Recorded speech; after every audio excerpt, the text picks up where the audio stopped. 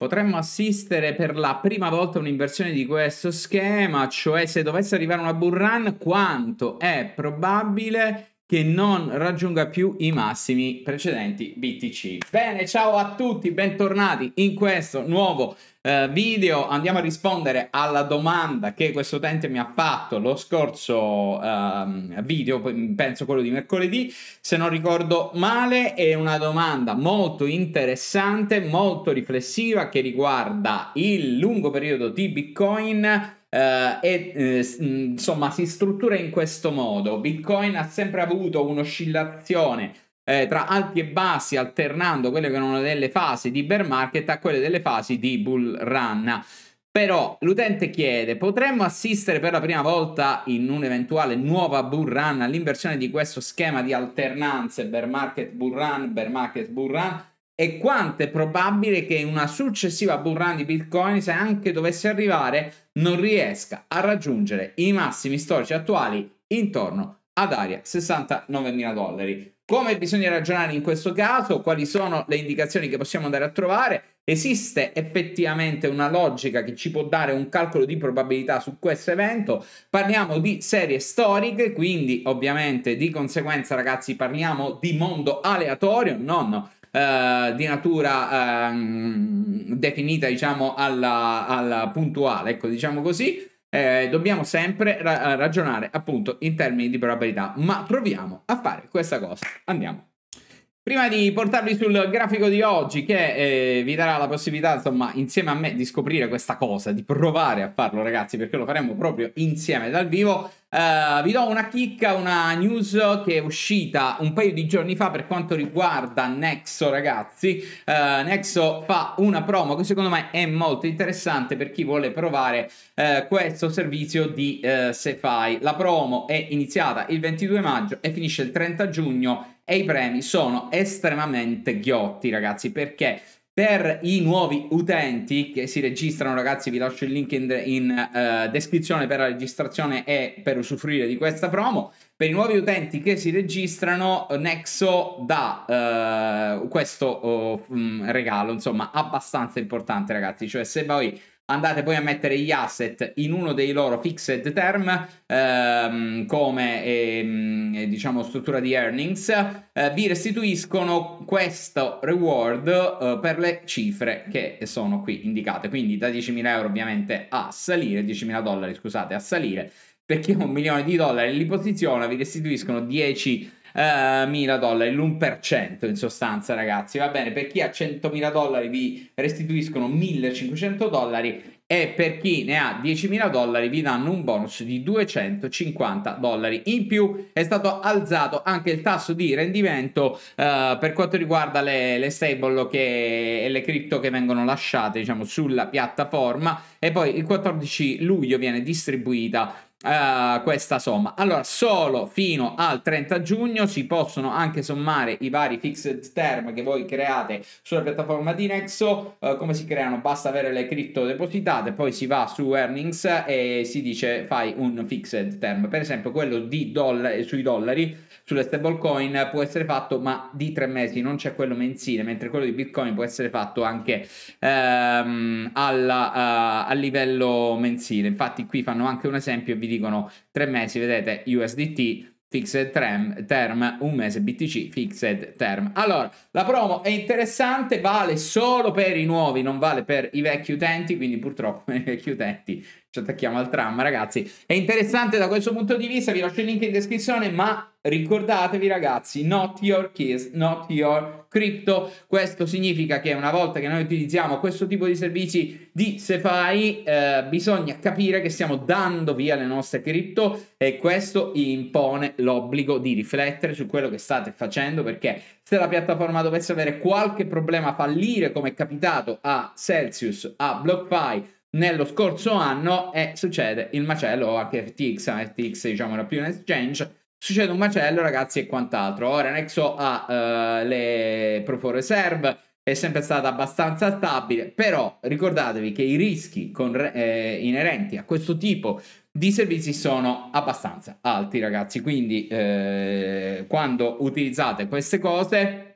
fate un po' i vostri conti, quindi ragionate su queste cose. Io stesso, insomma, faccio in questo modo, no, ragazzi, metto qui quello che so che posso mettere a rischio di questo tipo e, e per ottenere una rendita. Poi c'è sempre il bilanciamento, ottengo la rendita e il rischio, eh, insomma, è questo si può fare niente, mannaggia queste cose. Ragazzi. Forse una regolamentazione risolverà questi problemi definitivamente, così potremmo anche utilizzare le cripto per ottenere delle rendite, perché avendo magari delle regolamentazioni avremo magari gli organi competenti che eh, ci danno una garanzia maggiore. Vabbè, detto questo, torniamo alla questione. Era interessante questa promo, ragazzi. Io non, non ve ne dico mai, ma questa è veramente interessante.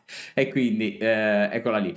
Eh, allora, questa questione legata al fatto se Bitcoin né in una successiva eventuale bull run potrebbe effettivamente non raggiungere mai i massimi storici. Ho indicato la fase di massimo indicato da questo livello che è il bianco. Adesso eh, andiamo a ragionare un po' sulla struttura di, ehm, di, quello che è successo nelle precedenti fasi bull run. Allora, l'utente innanzitutto si fa, uh, fa riferimento, vedete, all'alternanza di queste fasi, cioè fa uh, riferimento all'alternanza di fasi di bear market dove poi Bitcoin ha eh, strutturato delle fasi di ripresa di bull run estremamente eh, rilevanti. Anche qui bear market, bull run, bear market, bull run, bear market attuali. Ora, dov'è la differenza, ragazzi?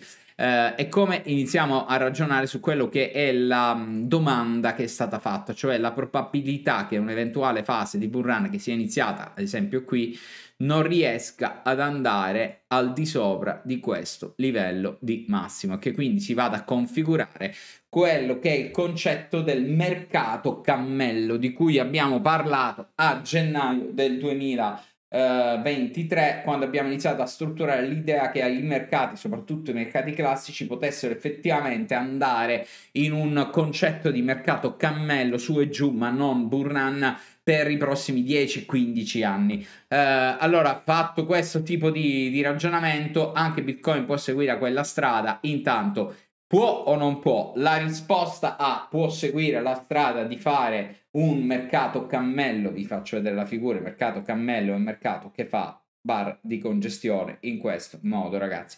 Bitcoin può o non può intanto è sicuramente può fare una cosa del genere perché non esiste nessuna forma di analisi eh, su una cripto che ci possa dare una mh, fase di, di, di, base, diciamo un valore di base sotto il quale è difficile eh, che quel, eh, eh, quella cripto possa scendere.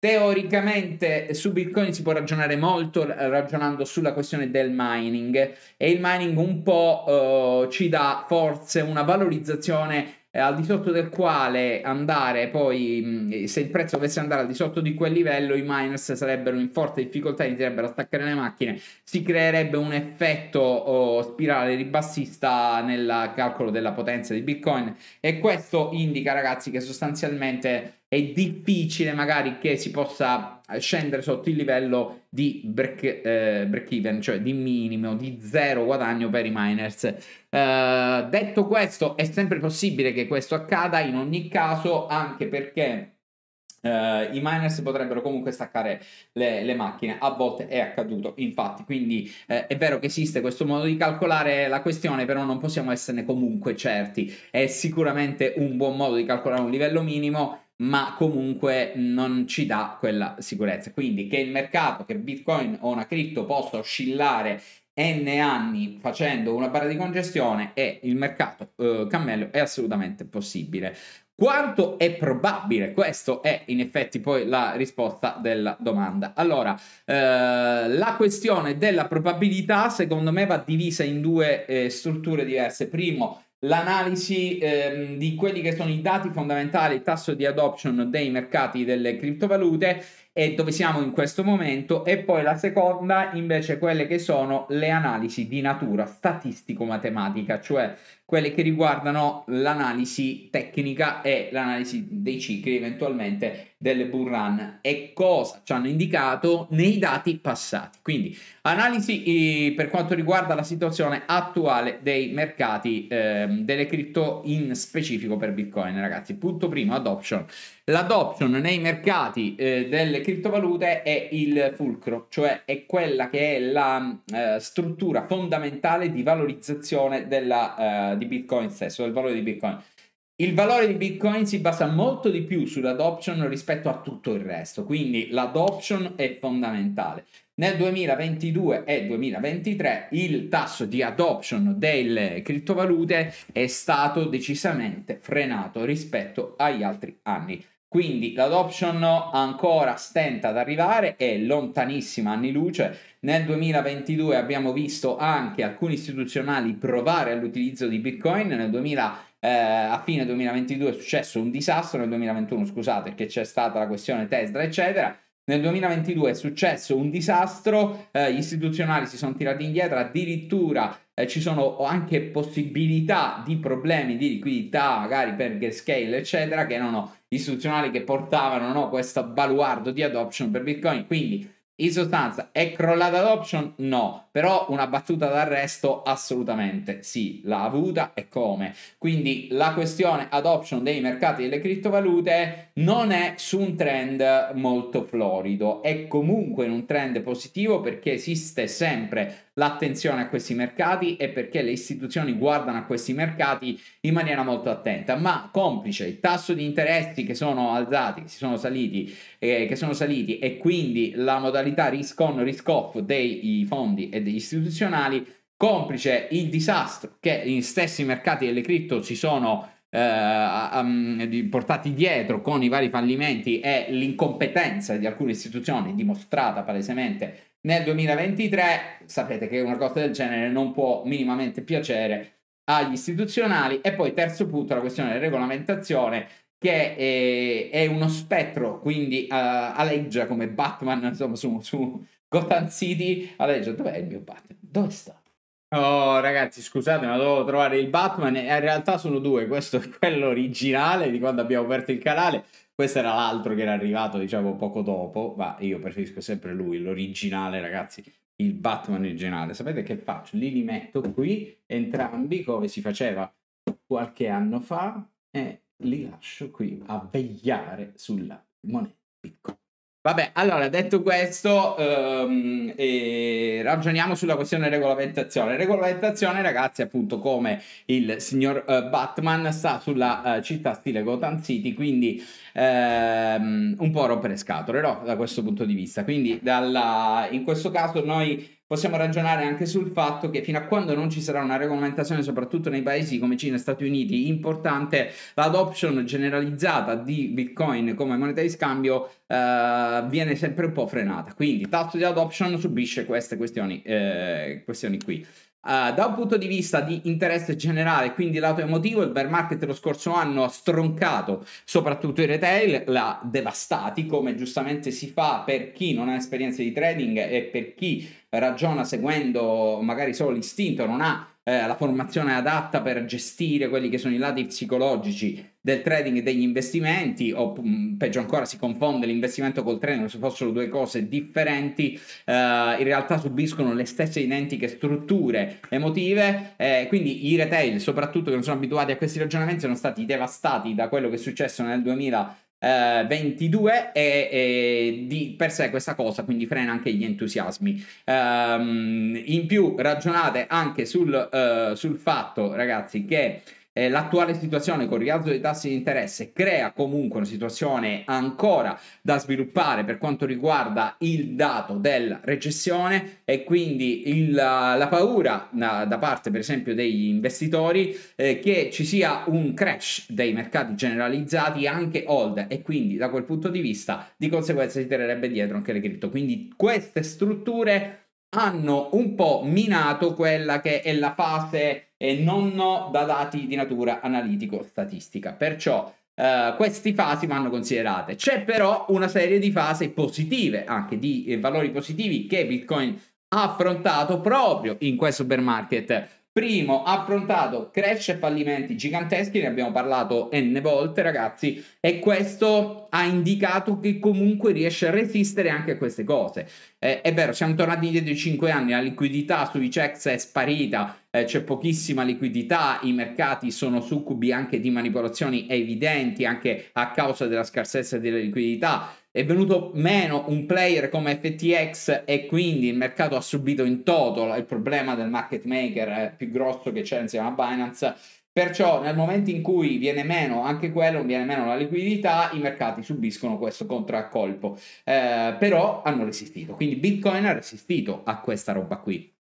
E eh, soprattutto ha, ha, dato spazio magari ad una fase di mm, eh, eh, ri, eh, diciamo, accumulazione delle forze. Quindi questi sono dei lati positivi. Perciò eh, da questi dati l'idea che Bitcoin possa non andare a fare nuovi massimi mh, mm, non è strutturabile. Perché ragazzi? Perché una volta che noi abbiamo definito la questione regolamentazione, in realtà eh, Bitcoin non ha tanti ostacoli davanti a sé perché, punto primo, ha subito i fallimenti e già ci sono stati e li ha retti e quindi li abbiamo visti. Punto secondo, ha subito un rialzo di tasso di interesse, quindi da un punto di vista macro è stato, eh, diciamo, sballottato a destra e a sinistra e questo è stato molto importante e difficilissimo la prima volta che lo assistemamo a una cosa del genere e l'ha retto. Eh, ma non ci può essere di nuovo, no? Una cosa del genere, cioè l'abbiamo già vista, quindi eh, adesso ne parliamo di questa cosa. Punto terzo, c'è la questione regolamentazione che magari deve strutturare tutto quello che manca nella uh, sottoterra, diciamo sulla parte del sottosuolo, per reggere definitivamente i mercati delle cripto, perché una volta che tutte queste strutture sono andate a posizionarsi nei loro posti, soprattutto la regolamentazione che manca, noi avremmo attraversato con i mercati delle cripto tutti quelli che sono queste fasi eh, importanti. E questo dà la possibilità magari alla, a Bitcoin di costruire una nuova fase completamente diversa anche dalle precedenti. E quindi nulla vieta di andare appunto a creare nuovi massimi proprio perché la successiva fase per esempio al rialzo dei tassi sarà il ribasso dei tassi di interesse ragazzi. Non ne parliamo perché ci vorranno uno o due anni ma quando arriverà i mercati delle cripto beneficeranno di questa cosa. Se nel frattempo hanno messo a posto la questione di regolamentazione e beh ragazzi allora lì il tasso, il tasso di adoption inizierà a salire cambierà radicalmente anche questo approccio e avremo anche il fiato in poppa perché eh, magari ci sarà la fase di exit del rialzo dei tassi, quindi tassi nuovamente che scendono. Questo è, sono dati tutti positivi. Tutti questi dati quindi volgono verso mh, sostanzialmente eh, fa- il fatto che Bitcoin possa comunque fare nuovi massimi nella prossima bull run. E eh, in particolare il nodo principe di questo, l'avete ormai capito, è la regolamentazione, quindi non deve esserci un ban, eh, deve essere fatta una regolamentazione adeguata che possa dare possibilità a queste cripto di svilupparsi anche lato istituzionali e allora lì non avremo più barriere. Quello sarà il momento veramente importante. Però attenzione alla questione regolamentazione. Lato tecnico, statistico è meno roseo invece dell'altro, però quale dei due è Uh, più pesante, in realtà è più pesante il primo uh, perché il dato tecnico statistico si basa sul passato, però il dato tecnico statistico ha una sola variabile molto importante che difficilmente il mercato ignorerà a prescindere dai dati di natura fondamentale. Andiamolo a vedere. Allora ragazzi, allora, il dato che si evince intanto in maniera consol- eh, consistente dalle oscillazioni di Bitcoin è uno e uno solo i, le fasi di rialzo sono sempre più corte rispetto alla entità, eh, alle entità di rialziste precedenti. Questo è un dato oggettivo in termini percentuali perché eh, dipende dal fatto che Bitcoin partiva prima da piccoli livelli di, di capitalizzazione, ora invece ha livelli di capitalizzazione non altissimi, ma comunque abbastanza consistenti. Andiamo ad analizzare anche però la durata dei bear market. Guardate che differenza sostanziale, per esempio, tra il bear market del giugno 2011 e quello invece del novembre 2013, il primo vero bear market di Bitcoin. 400 giorni, 161 giorni. Quindi questo già ve la dice lunga come le fasi di ribasso si siano estremamente allungate. Eh, per esempio, quest'altra fase qui è stata molto simile alla Uh, bear market del 2014-2015 eh, mm, ed era quello del 2017-2018. L'attuale fase di bear market che è finita a novembre scorso, se la facciamo iniziare dal massimo del, di novembre è durata 360 giorni, molto simile, 364 vedete alla precedente. Se invece noi consideriamo il doppio massimo avvenuto in questa fase e diventa 500 e passa giorni, quindi comunque eh, per correttezza andiamo a utilizzare il vero massimo anche se di poche migliaia di dollari che è questo qui. Eh, quindi la struttura della durata dei bear market si è eh, standardizzata alla, nella durata di un ciclo annuale, quindi un anno di eh, Bitcoin. La questione invece un po' diversa è quella legata all'app, alle fasi di app. Nelle fasi di bull precedenti eh, il mercato saliva in maniera più consistente e in maniera più veloce, dal minimo del eh, 2011 al massimo del 2014 Bitcoin ha fatto il 57.000% per ovvi motivi valeva pochissimo prima. Poi nella bull run del 2017 il l'11.000 dal minimo del 2015 l'11.730% e nell'ultima Burran, quella che ormai magari conoscete un po' tutti, semplicemente il 2000%. Quindi se andate a guardare il tasso di decelerazione dell'impulso rialzista è assolutamente molto consistente. Questo ci dice anche, ci dà anche una risposta più chiara il, la fase iniziale di Bitcoin probabilmente si è andata a esaurire, cioè la fase in cui uh, c'era l'hype per la novità, era ancora una piccola tecnologia, eccetera, e quindi aveva margini di crescita di un certo livello, ma Uh, di un certo livello in termini di potenziale perché era semplicemente molto molto piccolo.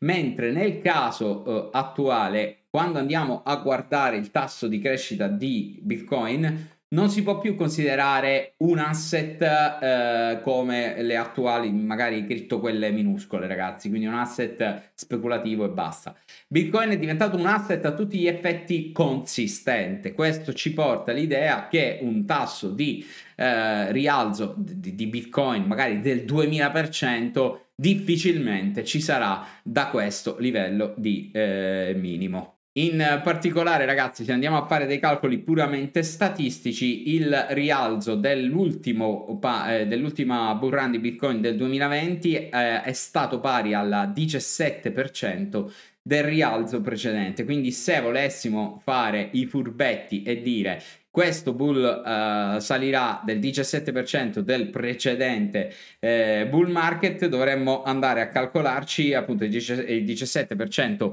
di, del 2000% e ci uscirebbe una fase di rialzo del 370%. Andiamo a fare i calcoletti e ehm, come si vede ragazzi vedete è 240% sul 240% arriviamo in sostanza ai massimi ma teoricamente senza superarli. Ora questo è il problema di fondo nel rispondere a questa domanda dell'utente, il perché abbiamo fatto un video intero, perché sono due facce di, di una medaglia completamente diverse. Quindi da un lato abbiamo tasso d'adoption e quant'altro, dall'altro un dato statistico che invece ci dice che superare questa volta i massimi in maniera consistente, quindi non andare a fare magari gli 80.000, ma andare a fare i 250.000 dollari, ragazzi, è più difficile rispetto agli altri anni perché il tasso di accelerazione delle fasi rialziste delle cripto si è estremamente ridotto anche per Bitcoin. Quindi o si passa in una nuova fase, cioè in una fase in cui Bitcoin riceve un'adoption come si deve e, e, viene utilizzato totalmente anche come sistema di scambio oppure arriva una nuova in, eh, innovazione come la stablecoin che oggi stesso stanno iniziando a testare attraverso gli ordinals eccetera eh, su bitcoin. Oppure teoricamente se rispetta questa struttura tecnico-statistica, la possibilità che si vada a generare un mercato cammello per i prossimi anni è più alta del fatto di avere un pump gigantesco fino a 340 mila dollari. Ora, questi sono dati di serie storiche, queste sono analisi di natura aleatoria che noi facciamo in base appunto a serie storiche. C'è la parte fondamentale che invece ci dice che Bitcoin può fare molto bene nei prossimi anni. La parte fondamentale è più importante delle serie storiche, ragazzi, sul prezzo di un asset in questo caso. Perciò le carte per superare i massimi ci sono tutte, però non sono così Uh, chiare come le fasi precedenti perché uh, la fase di uh, rialzo statistico ci dice che è difficile magari salire tantissimo. Questo impone anche un'altra riflessione che vi butto lì ragazzi su cosa adesso è importante fare per esempio per moltissimi che investono su questo mercato. Se forse è arrivato un po' il momento di iniziare a ragionare un po' di più da investitori professionisti e meno da eh, tra virgolette, ragazzi, scappati di casa, lo siamo tutti nei mercati cripto, no? Io lo dico scherzosamente, non è un'offesa. E, e quindi ragionare sul fatto che solo l'holding alla cieca non vi porterà niente se effettivamente i mercati iniziano a essere un pochino in versione cammello. Uh, sarà però ancora consistente invece la possibilità per chi ha, uh, fa investimenti oggettivamente strutturati da professionisti di poter stare su questi mercati magari per tanto tempo anche in maniera ghiotta perché rialzi anche del 350% sono per un investitore pro, un trader o chiunque insomma ragioni in termini professionali molto rilevanti, ragazzi, e si possono veramente fare tante cose belle. Quindi un po' io ho il dubbio su questa cosa, quindi non ho ancora l'idea del dirvi attenzione holder, siamo passati su questa fase, voglio vederci chiaro proprio su questi cicli di quest'anno 2023 e, e poi ragionare insieme a voi come sempre, però questo è un bellissimo video, uno stratosferico video importantissimo anche sulle aspettative di lungo periodo per Bitcoin e, e, ehm, e, secondo me è molto importante anche rifletterci insieme ragazzi al di là della tifoseria perché non è una uh, partita di calcio. Uh, io sono always uh, long su Bitcoin sul lunghissimo periodo quindi sapete come la penso però sono anche un analista e vi ho detto il punto di vista anche dell'analisi. Fatemi sapere cosa ne pensate. Ciao